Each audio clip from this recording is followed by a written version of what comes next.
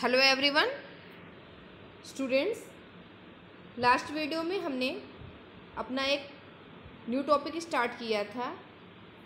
That is modes of transmission of diseases in modes of transmission of diseases में हमने direct और indirect mode of transmission को discuss किया था, जिसमें से कि डायरेक्ट मोड ऑफ़ ट्रांसमिशन मैंने कंप्लीट कर दिया था।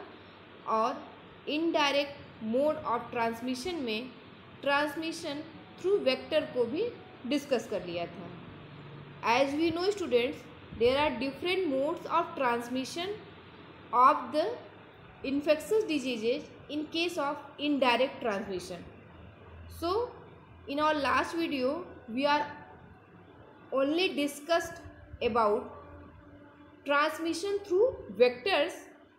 So in this video we are going to discuss our next mode of the transmission of diseases so let's start our topic that is through air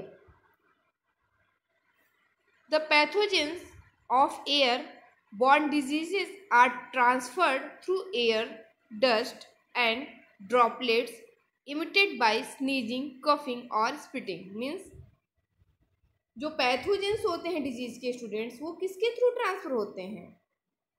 air के through transfer होते हैं और directly air कहें तो air dust और droplets के through भी ये ट्रांसफ़र होते हैं। जैसे अगर कोई इन्फेक्टेड पर्सन स्नीजिंग कफिंग और स्पिटिंग करता है तो ये पार्टिकल्स डस्ट या ड्रॉपलेट्स के फॉर्म में एयर में प्रेजेंट होते हैं। और जैसे ही कोई हेल्दी पर्सन इसके कांटेक्ट में आता है वो क्या होता है? इन्फेक्टेड हो जाता है।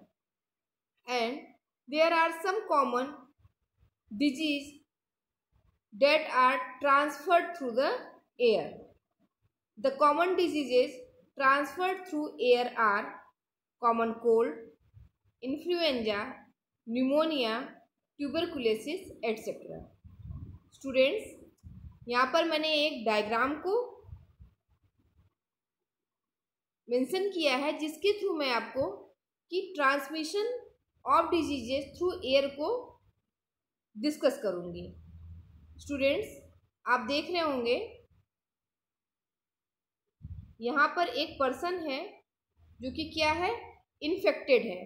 अब ये पर्सन स्टूडेंट स्नीजिंग करेगा तो क्या करेगा? जो स्मॉल पार्टिकल्स होंगे दैट इज़ यानी small droplets evaporate to drop small droplets evaporate to droplets nuclei in this zone okay and the larger droplet settle to ground in few seconds means जो small droplets थे वो क्या किए? Evaporate करके droplet nuclei का formation कर लिए while जो लार्जर ड्रॉपलेट्स थे वो क्या हुए? वो तुरंत ही प्रेसिपिटेट कर गए on the ground and these nuclei और we can say the droplets that carry the infected pathogen carried देखिए आपने यहाँ मैंने यहाँ एरो बनाया है carried in air current for minutes to hours means ये मिनट से लेके कई घंटों तक ये क्या करेंगे एयर के थ्रू ट्रेवल करेंगे। And then after they also precipitate after some time droplets also pre, precipitate on the ground. And if a healthy person touch these object or comes in contact of these things. They gets affected. Okay students. In this way transmission of diseases occurs through air.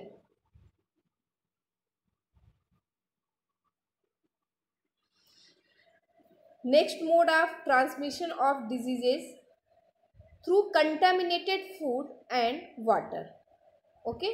In case of uh, through contaminated food and water, some diseases are transmitted through contaminated food and water means ऐसी कुछ diseases होती हैं student जो कि contaminated food और water के intake से क्या होती हैं कि एक हेल्दी पर्सन को अनहेल्दी पर्सन और we can say infected person में कन्वर्ट कर देती हैं। इसके एग्जांपल्स हैं cholera typhoid diarrhoea and hepatitis B these are the examples of the diseases that are transmitted through contaminated food and water next mode of transmission through contaminated blood और injection needles this type of infection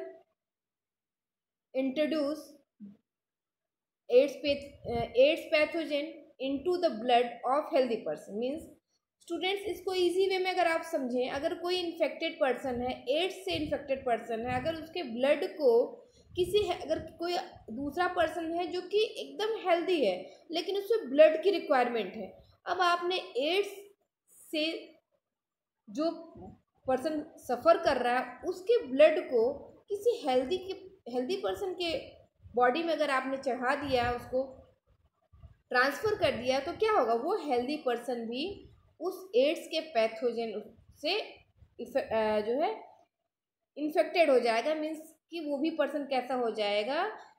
ads के pathogen को carry करेगा।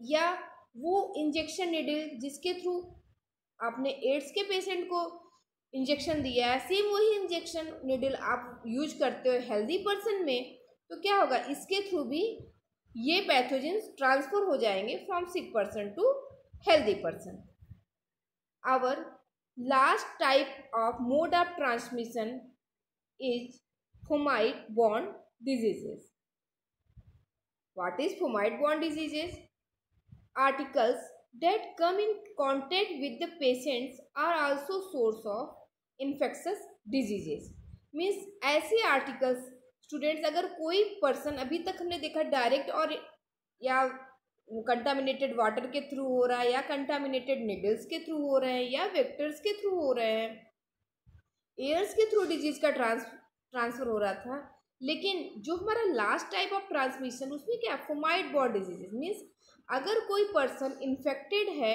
और उसने किसी object को touch कर लिया इज़ इट क्लियर उसने किसी ऑब्जेक्ट को, किसी आर्टिकल को टच कर लिया।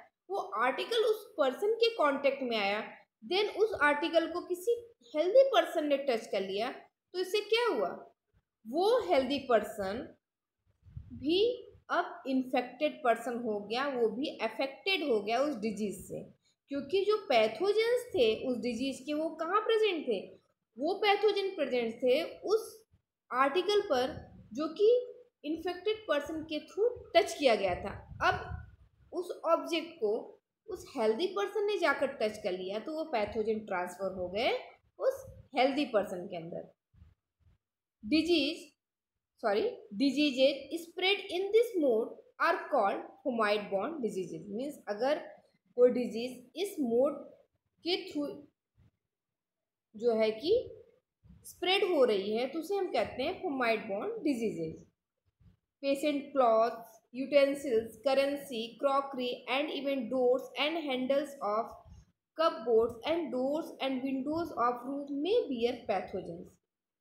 Means ये सारी चीज़ें जो मैंने अभी भी आपको रीड करके बताई ये सारे क्या करते हैं कैरी करते हैं पैथोजेंस को स्टूडेंट्स अभी इस टाइम हम लोग कोविड नाइन्टीन को फेस कर रहे हैं तो आप एग्जैक्टली exactly देख रहे होगे कि जब भी आप कहीं बाहर से आते हो तो आप तुरंत ही इतनी बार आपको मैसेज दिया जा रहा है कि आप कहीं से आए हो तो अपने गेट के हैंडल्स को मत टच करो। अगर आपने हैंडल को टच कर लिया तो तुरंत उसे सैनिटाइज करिए। आपने किसी ऑब्जेक्ट को, किसी मटेरियल को बाहर से लेके आया तो आप उसको तुरंत अपने हैंड को वॉश करिए, जिससे कि अगर आपके जो मटेरियल जो आप ले करके आए हो, उसके ऊपर कोई डिज़ीज़ अगर ट्रांसफ़र हो गई है तो कुछ देर के लिए आप उसे छोड़ दीजिए एज इट इज़ जिससे कि वो वायरस उस सरफेस पर ही क्या करें? सरफेस पर ही रह जाए आप तब ट्रांसफ़र ना हो पाए। इसलिए कहा जाता है कि जिस भी ऑब्जेक्ट को, जिस चीज़ को भी आपने टच किया, तुरंत उसे सैनिटाइज करें। डोर्स के हैंडल्स को चेयर को, जहाँ भी आपने अगर किसी अननोन पर्सन के कांटेक्ट में आए तो तुरंत उस चीज़ों को आप सैनिटाइज करिए। क्यों? क्योंकि सैनिटाइजेशन करने से स्टूडेंट्स हम क्या करते हैं? उन पैथोजेंस के इफ़ेक्ट को हम नील कर सकते हैं, ख़त्म कर सकते हैं। ओके स्टूडेंट्स स्टूडेंट्स इसके साथ ही हमारा indirect mode of transmission complete होता है। नेक्स्ट वीडियो में स्टूडेंट्स हम लोग इसके आगे के टॉपिक को डिस्कस करेंगे। Thank you students